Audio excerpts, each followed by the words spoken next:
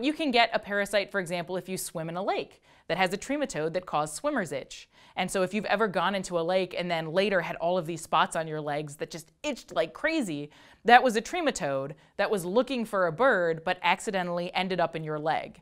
And it died, and that, that itching is your immune system trying to get rid of the trematode. So in the United States, that's one way that you can get a parasite. And another parasite that you can get if you live in the United States, particularly in the southern part of the United States, is hookworm.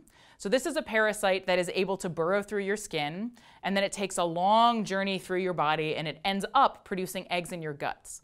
And when humans defecate, the eggs get back into the environment, and if there isn't good sanitation, those eggs get out into the environment and then you can get infected. So when those eggs hatch, a tiny little nematode comes out of there and it can move up to six feet away from the eggs.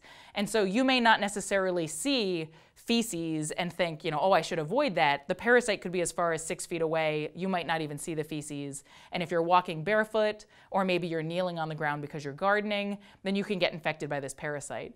And one or two of this parasite isn't super bad, but if you have a lot of them, uh, what they feed on essentially is your blood. And so they can suck a lot of nutrients out, and then you can end up having trouble with malnutrition, and that can result in uh, lower IQs because it's harder to study and focus in school. So this can be a major parasite that's a problem in the southern United States when it reaches high densities. And that particularly happens in areas where sanitation isn't particularly good.